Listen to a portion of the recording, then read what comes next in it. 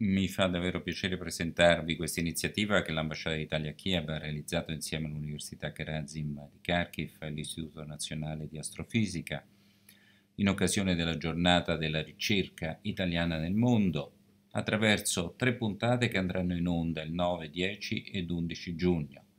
Dato che viviamo in epoca di coronavirus, si tratta di un eh, meeting virtuale in cui i relatori non si incontreranno, si vedranno soltanto in rete e in cui parleranno ciascuno la propria lingua sulla base di soluzioni tecnologiche che sono state realizzate da Massimo Capaccioli che ci ha guidato per mano in questa nuova impresa, dal team di Karazin e dall'INAF. Spero che il prodotto vi piaccia e soprattutto vi interessi.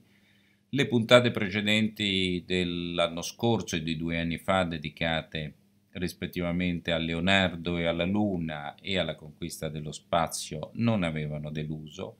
E quindi spero che anche questa volta quello che abbiamo fatto susciti il vostro interesse il tema di quest'anno è Siamo soli nell'universo, forse un tema ardito per un luogo impomatato come un'ambasciata, ma azzeccato in un periodo in cui stiamo combattendo una battaglia mortale contro una presenza aliena come quella del coronavirus che sta cambiando la nostra vita e la nostra società. Il coronavirus ci ha insegnato a guardare con attenzione mondi che prima non vedevamo attraverso la lente del microscopio e allora perché non usare quella opposta di lente, quella del telescopio, passando dall'infinitamente piccolo all'infinitamente grande? Entrambi questi strumenti sono in effetti l'oggetto dei sogni dei bambini. Ed è con la stessa curiosità, lo stesso entusiasmo dei bambini che introduco questo convegno, che conserva l'approccio di quello su Leonardo e che offre un mix di prospettive, di punti di vista scientifici, matematici, astronomici, giuridici, geopolitici e filosofici.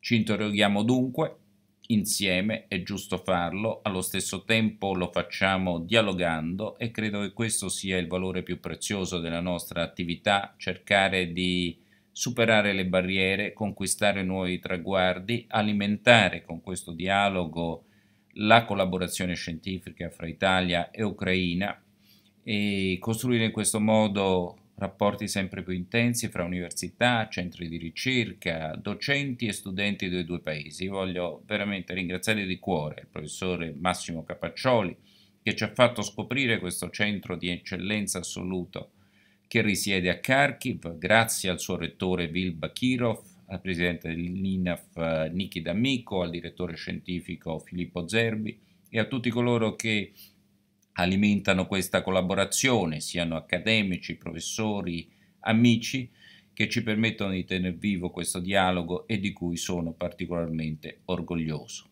Vi auguro buona visione e ci faremo compagnia nei prossimi tre giorni. Мені хотілося б анонсувати надзвичайно цікаву е, подію, яка на нас очікує. Це віртуальний конгрес італійських та е, українських е, науковців, який присвячений темі людства, перебування людства у всесвіті, чи є ми одинокі в безмежному всесвіті.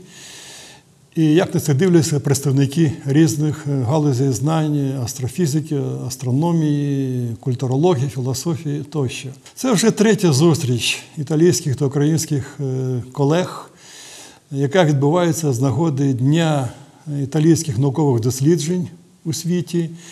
Е, це третя зустріч, в якій бере участь Каразінський університет.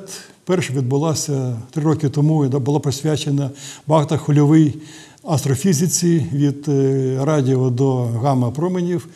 Е, друга була минулого року, і вона була присвячена 500-річчю з дня смерті Леонардо да Вінчі, називалася Леонардо та Луна. І третя, це яка ось відбудеться зараз, присвячена проблемі е, людства у всесвіті. Всі ці три Зустрічі проводилися за активної допомоги і підтримки італійського посольства в Україні і особисто посла пана Давіда Лячичілія, якому ми е, дуже вдячні. Мені хотілося б е, сказати, що е, такий трикутник у нас в основі цього конгресу посольство Італії, Каразівський університет і Італійський інститут астрофізики. І ми залучили представників різних галузей знань, не тільки науковців, які дотичні до астрономії, астрофізики, космології, але й філософів, але й соціологів, істориків, дипломатів, тому що проблема чи одинокі ми у всесвіті, вона є така міждисциплінарна, вона охоплює широке коло питань, які виходять за межі суто е, природничого знання. Е, ми е, запросили надзвичайно цікавих, кваліфікованих, яскравих спікерів, які поділяться своїми думками. На жаль, в такому віртуальному форматі, тому що карантин не дозволяє нам зібратися разом. Але я сподіваюся, що ця зустріч е, віртуальна також буде е, цікава для широкого кола глядачів, для всіх, хто займається, хто цікавиться наукою, для всіх, кому е, ця проблема є небайдужою. Я запрошую щиро всіх до конгресу.